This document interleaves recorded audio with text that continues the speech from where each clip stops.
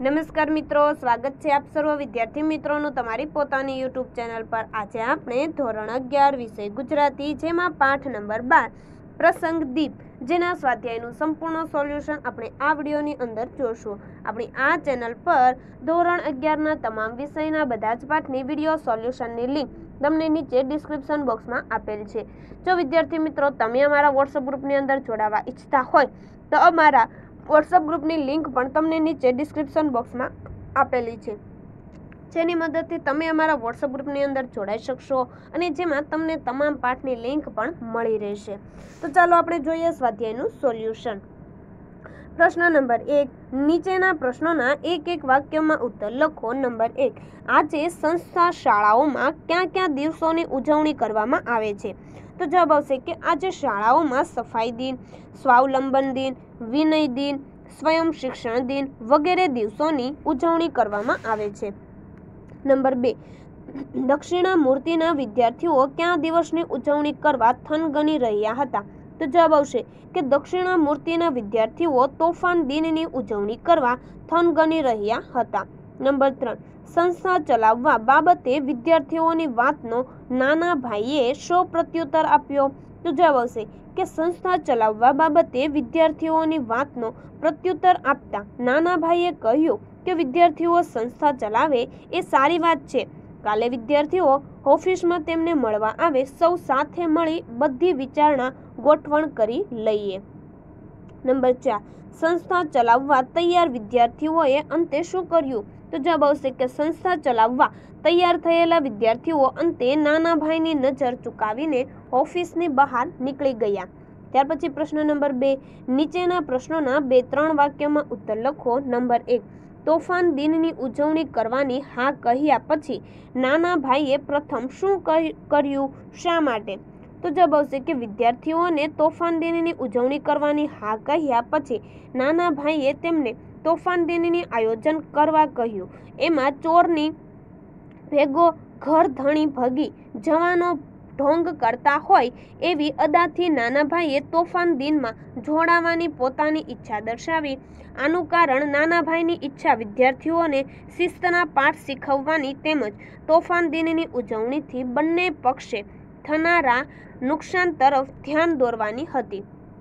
ત્યાર પછી નંબર બે, તોફાન દિનની આગેવાન મંડળીએ રજૂ કરેલી ચિંતાનો નાના ભાઈએ શો ઉત્તર આપ્યો? તો તેનો જવાબ આવશે કે તોફાન દિનની આગેવાન મંડળીએ રજૂ કરેલી ચિંતાનો નાના ભાઈએ ઉત્તર આપ્યો કે કોઈક વિદ્યાર્થીને નુકસાન થાય એવું તોફાન કરે તો ના, કેમ? આ તો તોફાન દિન છે. રસોડામાં પણ ગોળ ખાંડનું નુકસાન તો થશે જ ને. તોફાન દિન તો બધાને સરખો જ લાગુ પડે. ત્યાર પછી નંબર ત્રણ, સંસ્થામાં ક્યાં ક્યાં વિભાગો ચલાવવાના હોય છે ટૂંકી યાદી આપો. તો જોઈએ જવાબ, કે સંસ્થામાં નિયામક, હિસાબનીશ અને ગૃહપતિ વિભાગ, મકાન બાંધકામ વિભાગ, પ્રકાશન વિભાગ વગેરે વિભાગો ચલાવવાના હોય છે. નંબર ચાર, સંસ્થા ચલાવવા માટે પૈસાની વ્યવસ્થા સંદર્ભે નાના ભાઈએ વિદ્યાર્થીઓને શી સલાહ આપી? તો જવાબ આવશે કે સંસ્થા ચલાવવા માટે પૈસાની વ્યવસ્થા અંગે નાના ભાઈએ વિદ્યાર્થીઓને સલાહ આપી કે સરવૈયું અને સિલ્લક તપાસી લેવાના. પગારની તારીખ નજીક આવે ત્યારે પૈસા છે કે નહીં તે જાણી લેવાનું. પગાર માટે તેમજ સંસ્થાના બીજા કામો માટે ખૂટતી રકમ ક્યાંથી મેળવવી તે વિચારી લેવું અર્થાત પૈસાનું વ્યવસ્થા કરવી. ત્યાર પછી પ્રશ્ન નંબર ત્રણ, સવિસ્તર ઉત્તર લખો. નંબર એક તોફાન, દિનની ઉજવણી અને સંસ્થા ચલાવવાની કામગીરીનો વિચાર આખરે વિદ્યાર્થીઓએ જ શા માટે બંધ રાખ્યો? તો જવાબ આવશે કે તોફાન, દિનની ઉજવણીમાં વિદ્યાર્થીઓ રસોડામાંથી દહીં, ખાંડ ખાવા, કોઠારમાંથી ઘી ગોળ ખાવા જેવા તોફાન કરવા માંગતા હતા. આથી સંસ્થાને નુકસાન થાય તેમ હતું. નાના ભાઈ એમની ઉજવણીમાં જોડાયા હતા. એટલે એમણે કેટલાક વિદ્યાર્થીઓને પ્રવીણની બેગમાં પડેલા નવા સૂટને કાતરથી કાપવું.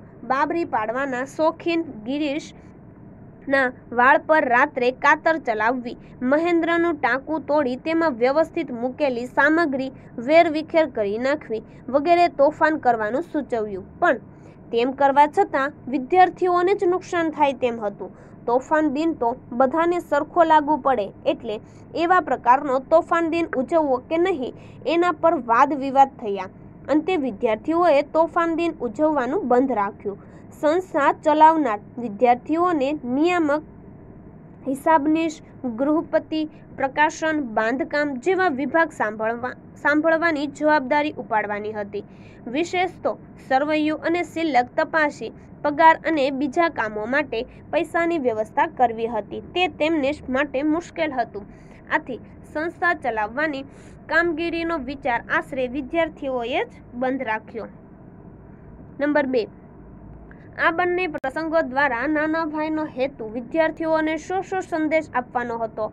તો જવાબ આવશે કે તોફાન દિન કેળવણીનું ઉર્મી કાવ્ય અને દક્ષિણામૂર્તિના ઉત્તર કુમારો આ બંને પ્રસંગો દ્વારા નાના ભાઈનો હેતુ વિદ્યાર્થીઓને સાચો રાહ દેખાડવાનો હતો. નાના ભાઈ યુવા કેળવણીની એક અદ્ભુત ચાલ ચાલ્યા અને વિદ્યાર્થીઓને તોફાન દિનની ઉજવણી નિમિત્તે કેવો તોફાન કરાય અને કેવા ન કરાય એના પર એમનું ધ્યાન દોર્યું. દક્ષિણામૂર્તિના ઉત્સાહી વિદ્યાર્થીઓ સ્વયં સંસ્થા ચલાવવા માંગતા હતા. ત્યારે પણ કાબેલ નાનાભાઈએ સૌપ્રથમ સંસ્થા ચલાવવા માટેની વિરાટ પ્રક્રિયા સમજાવી. એક નિયામક તરીકે પૈસાની વ્યવસ્થા કરવી, પૈસા લાવવાની જવાબદારી ઉપાડવી જેવા અનેક મુશ્કેલ કામો કરવા પડે છે. તેનો ચિતાર આપ્યો, જે આ બધી ચિંતા કરી શકે, તે જ સંસ્થા ચલાવી શકે. એના પર પ્રકાશ પાથર્યો. આ નિમિત્તે નાનાભાઈ વિદ્યાર્થીઓને એ સંદેશો આપ્યો કે સંસ્થા ચલાવવા કાબેલિયત જોઈએ અને વિદ્યાર્થીઓએ શિસ્ત જાળવણી જોઈએ. ત્યાર પછી નંબર ત્રણ, કે વિદ્યાર્થીઓના મનમાં ઊભા થતા પ્રશ્નોનું નિરાકરણ લાવવાની નાનાભાઈની રીત તમને કેવી લાગી અને શા માટે? તો આપણે જોઈએ તેનો જવાબ, કે વિદ્યાર્થીઓના મનમાં ઊભા થતા પ્રશ્નોનું નિરાકરણ લાવવાની નાનાભાઈની શૈલી અત્યંત પ્રશંસનીય છે. અનુભવી દ્રષ્ટા, ઉત્તમ શિક્ષક, કેળવણીકાર અને વિદ્યાર્થીઓને પોતાની વાત ગળે ઉતારવાની કાબેલિયત ધરાવનાર વ્યક્તિ જ આ કામ કરી શકે. નાના ભાઈમાં આ તમામ ગુણો હતા. તેઓ વિદ્યાર્થીઓમાં આસાનીથી ભળી જતા, તેમના તોફાનોમાં ભાગ લીધો અને એવા સૂચન આપ્યા કે તેમને આ ના કહેવાની જરૂર પડી નહીં. વિદ્યાર્થીઓએ પોતે જ એના પર ચર્ચા વિચારણા કરીને તોફાન દિન ન ઉજવવાનો નિર્ણય લીધો. સંસ્થા ચલાવવાની બાબતમાં પણ સંસ્થા ચલાવવા માટે સંસ્થાના જુદા જુદા વિભાગ પર ધ્યાન આપવું પડશે. પૈસાની વ્યવસ્થા કરવાનું જટિલ કામ કરવું પડશે. એના તરફ ધ્યાન દોર્યું. વિદ્યાર્થીઓને વિચાર કરવા માટે પૂરો સમય આપ્યો.